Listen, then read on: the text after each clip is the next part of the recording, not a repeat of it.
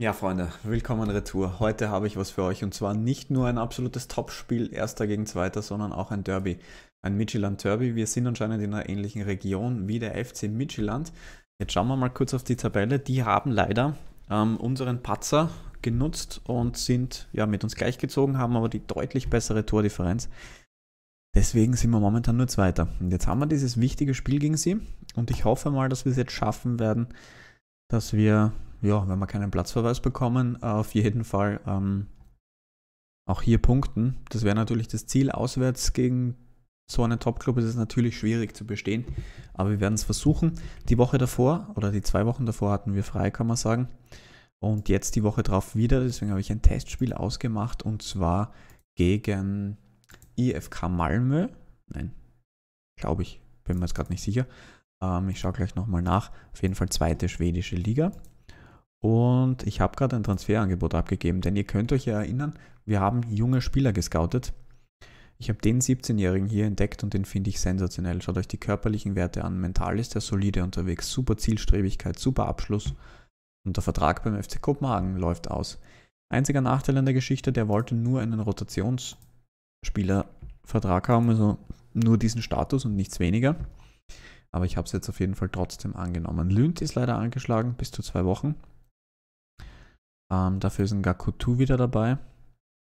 Und dann werden wir halt Nurmi mitnehmen müssen, weil wir noch einen Innenverteidiger-Ersatz brauchen. Quaka rückt wieder in die Mannschaft. Den werden wir jetzt einfach Ball erobern gleich spielen lassen. Das passt eh ganz gut, weil leider eben Boateng gesperrt ist. Zu Recht, wie wir ja mitbekommen haben im letzten Spiel. Und der Rest bleibt eigentlich soweit so. Das heißt, wir hoffen jetzt einfach mal, dass wir ja, gegen Midtjylland ähm, gut spielen und da was mitnehmen. Die Woche drauf ist dann so, dass die U19 und die zweite Mannschaft Pause haben. Das heißt, wir können da wirklich einen Test machen, der vielleicht ganz interessant wird, wo wir uns dann auch ein paar Spiele anschauen werden aus der zweiten Elf. Ja, Kopenhagen war schon dran, richtig gut gespielt. Und wir sind jetzt dran gegen Midtjylland im direkten Duell. Jetzt wäre es natürlich extrem wichtig, dass wir hier was mitnehmen. Ich gehe von der Grundausrichtung her mal auf ausgewogen. Und dann schauen wir einfach, was für uns hier heute so drin ist gegen diesen Club. Im Derby. Und ich hoffe, wie gesagt, dass wir da zumindest ein X mitnehmen können. Das wäre schon ganz wichtig. Aber schauen wir mal. Kongschauen, der die letzten beiden Partien eigentlich sehr gut gespielt hat. In Kopenhagen war er sensationell und auch im Team der Woche. Und beim letzten Spiel war er auf jeden Fall dafür verantwortlich, dass wir nicht noch höher verloren haben. Deswegen passt es, wenn er da jetzt auch noch spielt. Die letzten beiden Spiele werde ich dann Gülsdorf spielen lassen im Grunddurchgang. Und wie wir dann in den oberen Playoffs spielen, das schauen wir uns noch an. Rangschauen ist auf jeden Fall ein routinierter, erfahrener Rückhalt, also so gesehen ist das schon ganz in Ordnung. Und dann lassen wir jetzt noch das Megatalent Gülsdorf spielen damit auch der wieder ein bisschen Spielpraxis in der ersten Liga bekommt. So, Flanke, die wird gut geklärt, aber jetzt müssen wir aufpassen. Der Ball ist noch heiß. Augustinsson, boah, der war richtig knapp. Beinahe schon das 1-0 für Midtjylland. Petrovic hat was abgekriegt, irgendeinen Schlag oder so, aber er scheint sich wieder zu erholen. Bänderzerrung im Knie möglicherweise. Das ist natürlich nicht gut.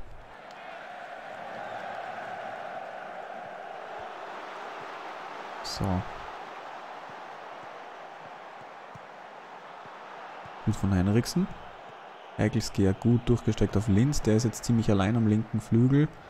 Aber er bringt ihn super rein zu Petrovic. Der nimmt ihn auch gut, aber auch ein guter Reflex des Keepers.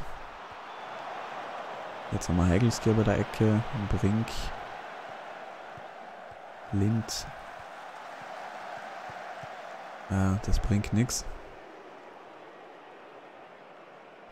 Jetzt ist Petrovic definitiv verletzt. Sehr, sehr bitter natürlich.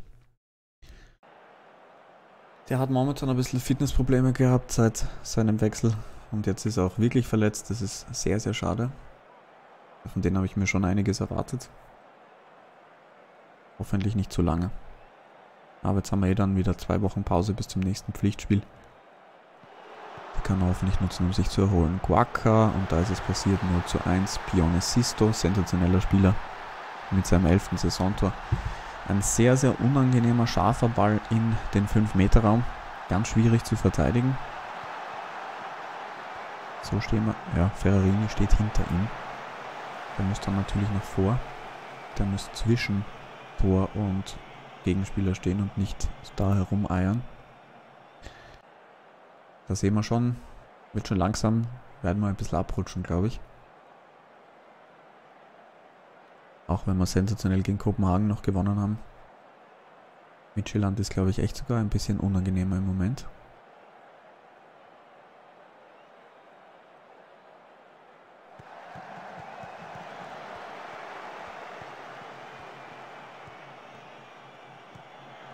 Kein Problem für Kong schauen. Aber wir können halt auch nicht für Entlastung sorgen im Moment. Ganz schwierige Situation.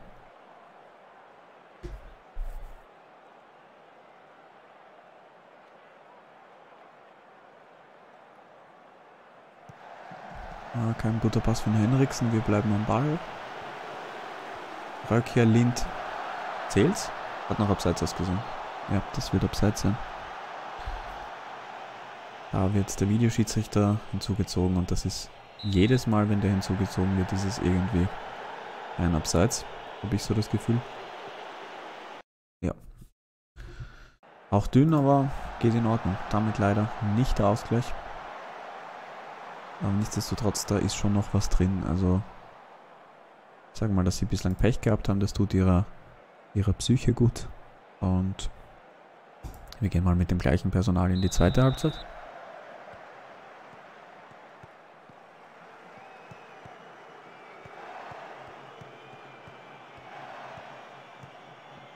Guaca mit super Tackling. Da bin ich halt auch am überlegen, ehrlich gesagt, ob man dann vielleicht die Rolle ein bisschen anpassen bei Boateng eben auch. Weil nicht, dass der uns dann regelmäßig jetzt vom Platz fliegt. Der hat eine hohe Aggressivität. Und wenn der auch noch Ball erobern spielt, dann wird es vielleicht noch schlimmer. Boah, der war super gespielt. Johansson mit dem Assist und Linz mit dem Ausgleich. Super gestartet gleich in die zweite Halbzeit. Und was war das für ein geiler Pass von Johansson? Hier sehen wir, dass er dann Fahrt aufnimmt.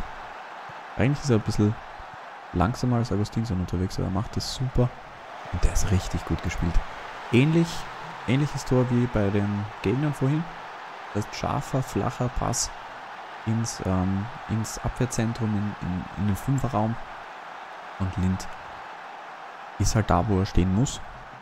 Und macht das perfekt. Damit der nicht unverdiente Ausgleich. Die Frage ist eben nur, schaffen wir es jetzt da dran zu bleiben? Siehst du, ist immer wieder gefährlich. Ich überlege ehrlich gesagt, ob ich da dann Gakutu bringe, weil ich glaube, dass der ein bisschen stärker ist defensiv. Aber Ferrarini macht sich nicht so schlecht. Ja, die Gegner, Gegner sind zum Teil ein bisschen müde. Zumindest die drei hinter dem Stürmer. Da sind unsere Jungs etwas fitter.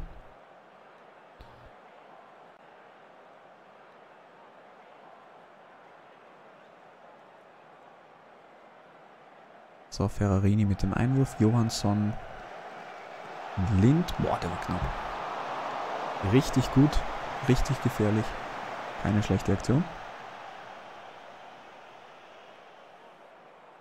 Henriks ein bisschen müde, der ist heute ein bisschen unauffällig. Den nehmen die zwei gegnerischen Sechser da ganz gut raus, so wie es aussieht. Oder sind Achter, aber im Zentrum ist es auf jeden Fall trotzdem sehr, sehr dicht. So, jetzt müssen wir aufpassen. 77. Boah, Kong schon mit einem sensationellen Reflex. Da hat wieder Ferrarini nicht gut ausgesehen, deswegen nehme ich den jetzt ehrlich gesagt raus. Ich bringe da jetzt einen Gaku 2 und dann werden wir für die Offensive, vielleicht bringe ich Gustafsson für Guaca auch noch rein. Und dann haben wir noch eine Wechselunterbrechung, beziehungsweise noch zwei Wechsel übrig.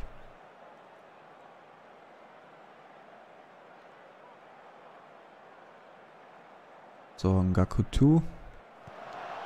Jetzt auf den Konter aufpassen. Ibsen gewinnt den wichtigen Zweikampf und da behalten sie auch die Nerven. Und dann Henriksen mit einem katastrophalen Pass. Aber zum Glück nichts passiert.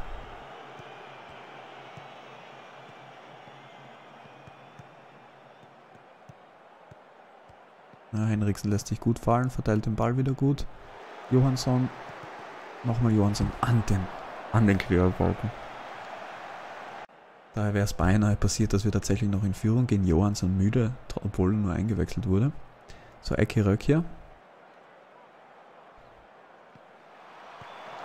Nochmal Röck mit der Chance. Zieht nach innen. Nächste Ecke.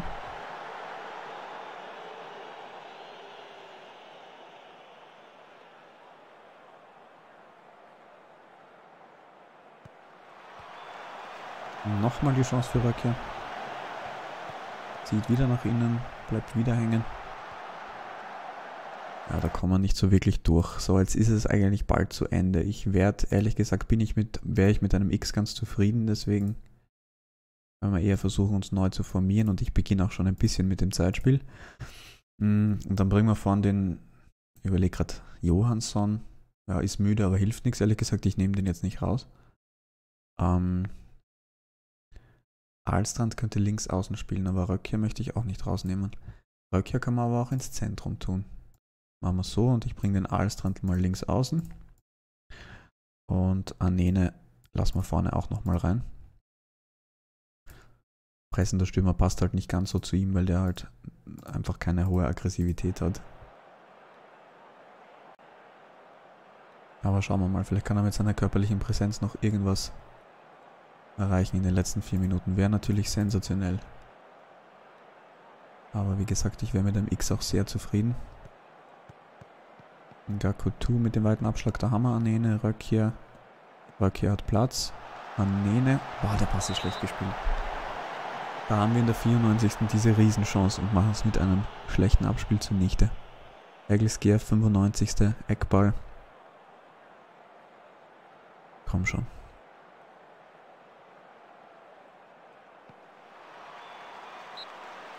Da gibt es Freistoß für Midtjylland und das dürfte es dann eigentlich gewesen sein.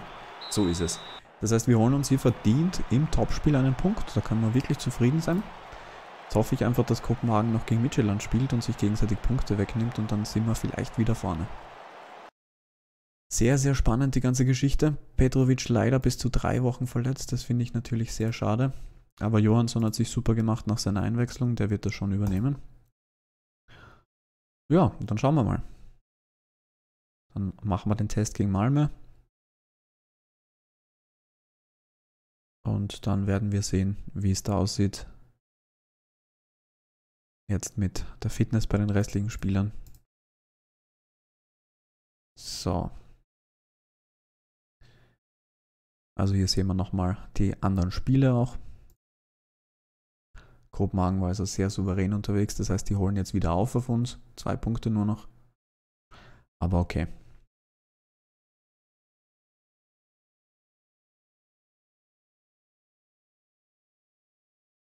Sagen wir mal Standardsituationstraining die Woche. Röckher zeigt Fortschritte. Mich natürlich immer freut, wenn der nach wie vor Fortschritte macht. Mit seinen 23 Jahren. Da sehen wir, die werden jetzt sehr defensiv spielen, ein 4-1-4-1-System. Das ist generell so ein System, gegen das ich ungern spiele. Das ist schon unangenehm, wie eng sie es da immer wieder machen. So, und jetzt holen wir tatsächlich dieses Top-Talent. Verdient dann 109.000. Aber vielleicht verleihen wir den sowieso im nächsten Jahr. Sensationell auf jeden Fall. Dann wird der empfohlen. Ja, Chilene möchte ich eigentlich nicht unbedingt. Henriksen, Tor des Monats, Platz 2. Das hatten wir aber eh schon mal. Oder war das Tor der Woche? Das kann auch sein. Ja, aber über den freue ich mich schon sehr. Da haben wir direkt dem Konkurrenten ein Top-Talent weggeschnappt. Engel will bleiben. Wer ist Engel? Also der. Den haben wir uns mal irgendwann mal gescoutet, glaube ich. Oliver Ross, 17-Jähriger von Albjörg. Ganz gutes Talent, ab auf die Auswahlliste. Da sieht auch alles gut aus. Röckher, der Führungsspieler schlechthin. Jetzt muss ich mal kurz schauen, kann man den. Was hat denn der für Führungsqualitäten? 8. Ich würde den irgendwie gerne auf dieses Seminar schicken, aber das kann ich anscheinend nicht machen. Das ist schade. Der kommt auch aus der Jugend von Kopenhagen.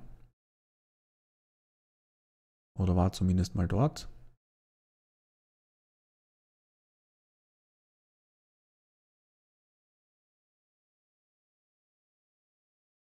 So, und da werden wir jetzt ein bisschen, ein bisschen was beobachten können bei Ersatzspielern. Schauen wir mal, wem wir da jetzt dann alles Einsatzzeit geben können. Die zweite hat scheinbar ein Testspiel, aber da mache ich jetzt mal niemanden verfügbar, weil es einfach wichtiger ist, dass die erste da spielt. Der wäre schon nicht uninteressant. Tackling 4. Was denn das für ein Verteidiger? Den kannst links vorne vielleicht versuchen umzutrainieren, weil das links hinten ist das ja katastrophal. So, wen haben wir hier? Der kann auch alles nichts flanken kann er. Der Rest ist auch nicht so überzeugend. Da haben wir einen jungen Israeli. Den haben wir auch schon mal gesehen. Der ist nicht gut. Christian Ries, Innenverteidiger von Midtjylland. Uh, da läuft der Vertrag aus. Das sind halt sensationelle Werte. So günstig wäre der, das kann ich mir nicht vorstellen. 63.000 im Jahr tatsächlich. Also für, die, für diesen Preis muss man den eigentlich nehmen. Aber er möchte sich die Optionen offen halten. Schade. Riccardo Roma, Italiener, kann man scouten. So.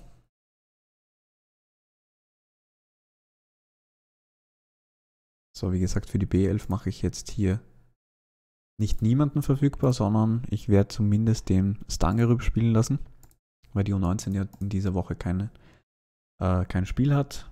Die Anmeldungen passen eh. 4. März, gerade meinen Geburtstag verpasst. So. Thomas Gündelund. Fällt mir auch ganz gut. So, wie spielen wir jetzt in dem Test?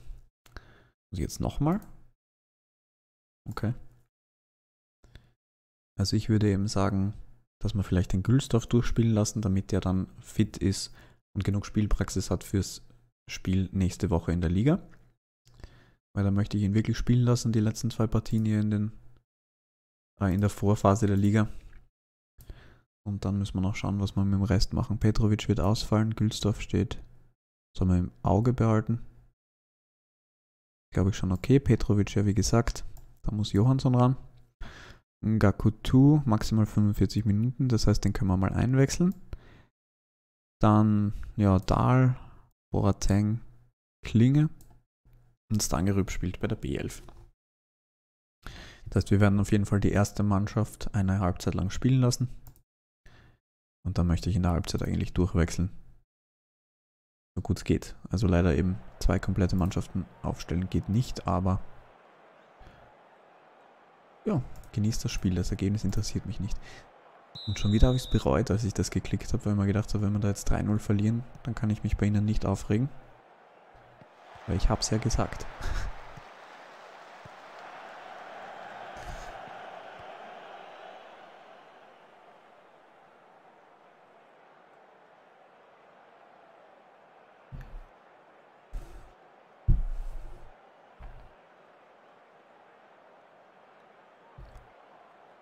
Also wir beginnen mit den ersten Chancen schon langsam. Aber viel passiert noch nichts. Noch nicht.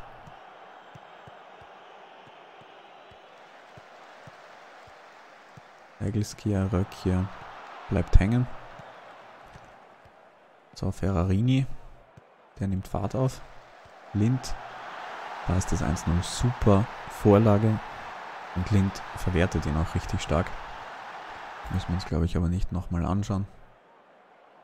Vorbereitungsspiele lassen wir wie immer die Highlights dann weg. Ja, das heißt guter Start. Ferrarini auf jeden Fall mal wieder sensationell mit dem Assist. Der gefällt mir wirklich gut. War ein bisschen ein Glücksgriff, dass wir den leihen konnten. Vielleicht finden wir im Sommer da ja einen ganz guten Skandinavier rechts außen. Lind mit dem zweiten. Eine Vorlage von Johansson. Weiß nicht, ob ihm das als Assist gewertet wird, aber Jupp, wird's. Die Noten sind auf jeden Fall ordentlich auf.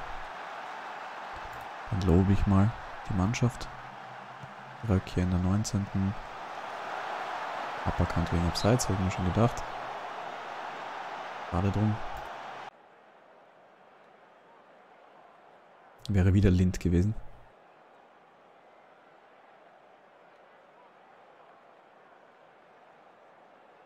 Da wird dann aber in der Pause trotzdem Anene kommen. Kann man nicht riskieren, dass sich Lind irgendwie noch verletzt oder so.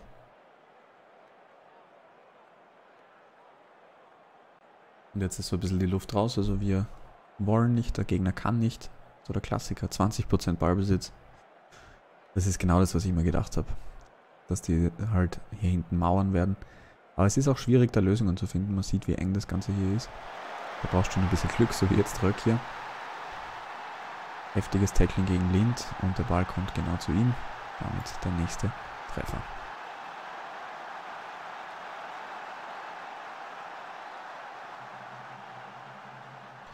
Wolters mit dem Abschlag. Äh, Röck hier. Lind macht den Hattrick. Yes. Macht er noch. Kurz vor seiner Auswechslung zur Halbzeit haut er den noch rein und macht seinen Hattrick. Und auch wieder ein starker Assist, also die Offensive scheint ganz gut zu funktionieren heute. So, wen können wir jetzt bringen? Kong schon? Nein, genau, den lassen wir auf der Bank. Gakutu rechts, der braucht Spielpraxis. Nurmi kommt auch mal rein. Jetzt muss ich nur schauen, wie schaut denn da aus? Schöpfung ausgeruht, ausgeruht. Verletzungsanfälligkeit ist bei beiden unterdurchschnittlich, also da lasse ich den Ibsen drin. Dahl kommt rein. Ähm, Gustafsson auf jeden Fall für Quaka, dann lassen wir Alstrand die Spielmacherrolle. Nana Boateng. Den könnte ich eigentlich auch in die Innenverteidigung bringen. Gretsch bei Zweikämpfen. Es ist echt ungut. Kanäne bringen wir mal rein. Ähm, Klinge auf der 10. Und ich schiebe den Nana Boateng einfach in die Innenverteidigung. Ich glaube, dass das ziemlich egal ist hier gegen den Gegner heute. Und geht ja einfach nur um die Spielpraxis.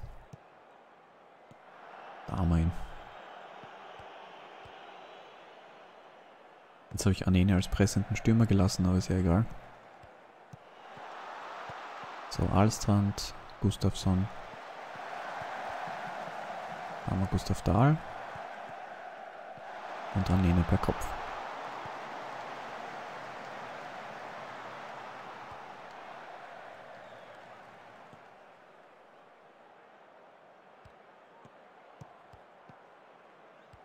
Sehr ruhig gemacht von Dahl hier. Röck jetzt zieht nach innen. Boah, der ist motiviert. Klinge. Und der Abschluss. Deutlich zu hoch.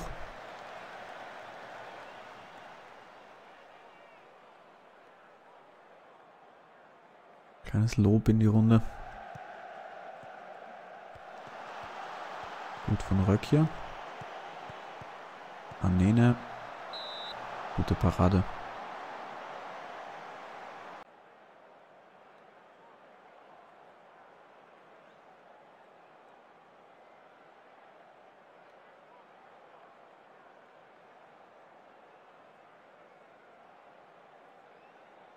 Röck hier mit dem Freistoß.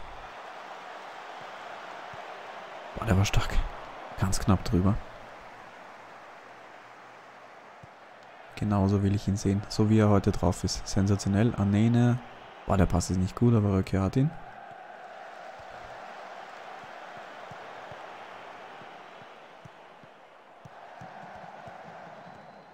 Schön von Alstrand. Dahl.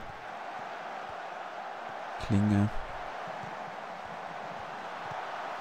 Klinge kommt nicht durch.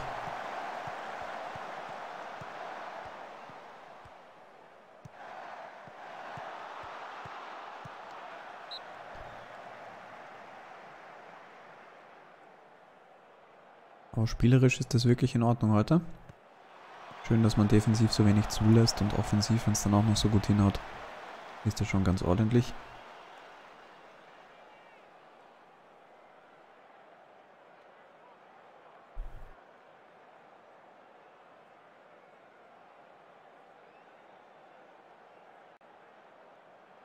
Ich werde mal das geduldig Spielen reinpacken noch.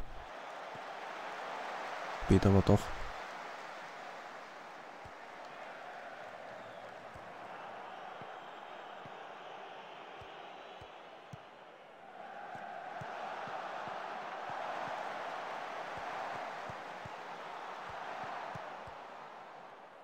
Äh, interessanter Pass von Boateng, Röcke hat ihn, Anene, ja, war abseits von Röcke.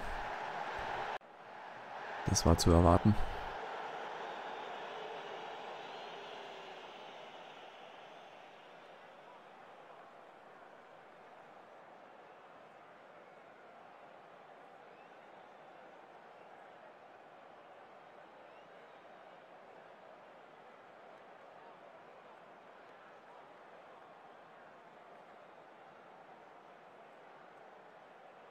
Und damit soll es gleich zu Ende sein dann. Hülsdorf, schlechter Abschlag. Nomi hat aber gut aufgepasst.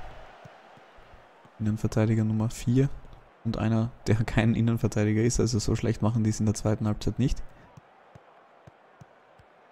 Und das war's. 4-0 Sieg. Sehr souverän, alle fit geblieben, keiner verletzt. So gesehen ein voller Erfolg. Das passt ganz gut. Emil Holten hat wieder mal getroffen für die zweite Mannschaft. Ja. Bin gespannt, wo der dann landen wird. Sechs Tore hat er gemacht in der zweiten Mannschaft. Allerdings in 24 Einsätzen, also nicht so wirklich überragend.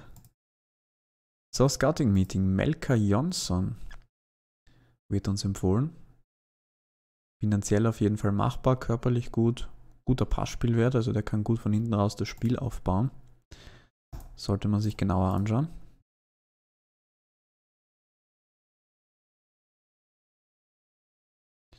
Und dann haben wir eben jetzt die beiden letzten Spiele im Grunddurchgang gegen die Renders und gegen Aarhus, glaube ich. So ist es. Das heißt, da wie gesagt auf Gülsdorf fahren. Ich hoffe, der entwickelt sich jetzt in der restlichen Saison noch ganz gut dass er noch vielleicht stark genug ist, im nächsten Jahr Stammkeeper zu werden. Ob wir jetzt da bleiben oder nicht, das wird man natürlich sehen, aber grundsätzlich. Ah, vielleicht sollte ich Phil Neumann schon anschauen. Boah, eigentlich richtig gut.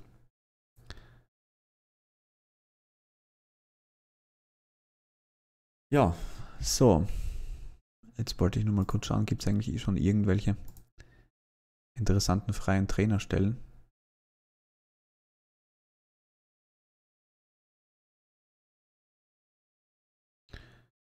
Jo. Bundesliga. Zweite Bundesliga. Hertha. Mhm. Wäre ganz witzig. Ich würde aber auch in dem Let's Play ehrlich gesagt nach England gehen, hätte ich auch nichts dagegen, obwohl ich gesagt habe, dass ich grundsätzlich in Skandinavien bleiben würde. Aber wenn sich irgendwas anderes Interessantes auftut, bin ich auf jeden Fall nicht abgeneigt. Also auch da die Liga Nosch zum Beispiel, also nach Portugal wäre auch irgendwie cool. Habe ich noch nie wirklich länger gespielt. Also im Let's Play sowieso noch nie und auch privat. Ich glaube, bei irgendeinem Online-Save habe ich mal Sporting Lissabon, glaube ich, übernommen. Oder was Porto? Weiß gerade gar nicht. Vor zwei Jahren oder drei Jahren habe ich da mal mit einem Freund gespielt. So, Enrique Gomez, Linksverteidiger. Sehr guter Mann auf jeden Fall. Hat aber kein Interesse zu uns zu gehen, deswegen werden wir da nicht groß weiter scouten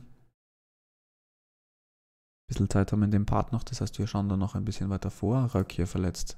Drei bis vier Tage. Er könnte genau gegen die Renders ausfallen und das ist bitter, weil auch rechts außen natürlich noch jemand ausgefallen ist. Das heißt, müssen wir links außen eventuell mit Alstrand spielen. Das wäre eine Möglichkeit. Aber schauen wir mal, vielleicht ist er eh fit genug, dass er spielen kann oder zumindest eingewechselt werden kann. So. War der ist bei Milan unter Vertrag richtig teuer. Aber der kann halt auch was. Da kommen jetzt noch immer laufend diese ganzen Skandinavier rein, die wir bei den U-Nationalmannschaften scouten.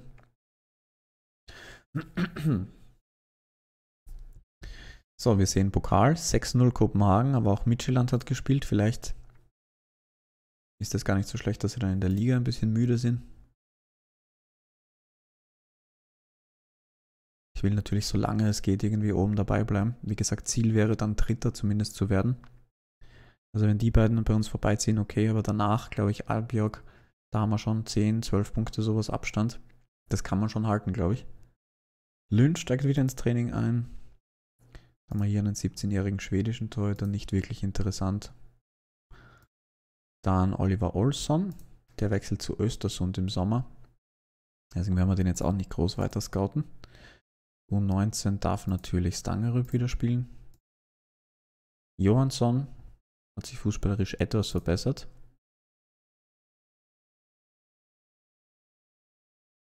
Okay.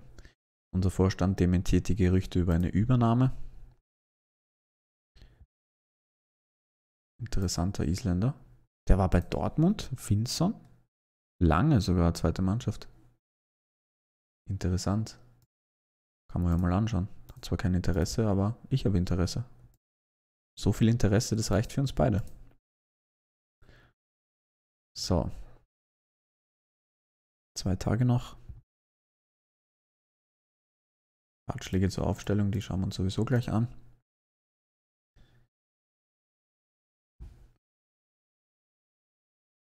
Also die letzten beiden Spiele in der Vorphase und dann müssten wir noch zehn Partien in der Saison haben. Eben genau die, ähm, wie ist das dann? Die, ja, wahrscheinlich gegen jeden einmal, äh, zweimal. Dann hätten wir insgesamt 32 Partien. Wenn ich jetzt richtig gerechnet habe. Also schon eine etwas kürzere Saison. Marco Ganschnick, Österreicher beim GRK. Nicht uninteressant, aber auch nicht wirklich notwendig.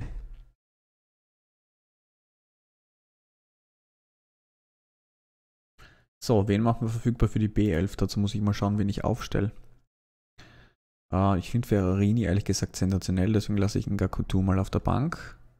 Lünd ist wieder fit, das passt gut, Innenverteidiger. Ähm, Petrovic, das wird nichts, das heißt, da werden wir den Klinge mitnehmen. Dafür ist Röckier fit, das ist wichtig. Das heißt, wir können mit dieser Mannschaft hier auflaufen, so wie es aussieht. Nana Boateng können wir mitnehmen für Für wen? Klinge kann theoretisch rechts außen spielen, aber ist nicht wirklich schnell. Da finde ich Alstrand interessanter, deswegen machen wir es so, dass ich da den Nana Boateng mitnehme. Aber ich lasse ganz ehrlich Quaka spielen, weil Boateng hat ähm, uns jetzt ziemlich hängen lassen mit dieser, mit dieser roten Karte. Und bei Quaka, da werde ich jetzt auf Box-to-Box -Box umstellen, glaube ich. Aber eben ruhig also Pressing kann man dann nur auf Standard lassen, aber das ist okay. Das passt mir so ganz gut. So. Ja, eigentlich passt würde ich sagen. Ich glaube, so kann man es angehen. Dann schauen wir, wie Gülsdorf sich hier und heute im Tor machen wird. Fünf Einsätze, neun Gegentore eigentlich. Nicht sonderlich gut. Aber schauen wir mal. Vielen, vielen Dank jetzt mal fürs Einschalten. Nächster Part, dann wie gesagt, da schließen wir den Grunddurchgang ab und versuchen jetzt noch ein paar Punkte mitzunehmen für die wichtigen Playoffs. Vielen Dank fürs Einschalten. Bis dann. Ciao.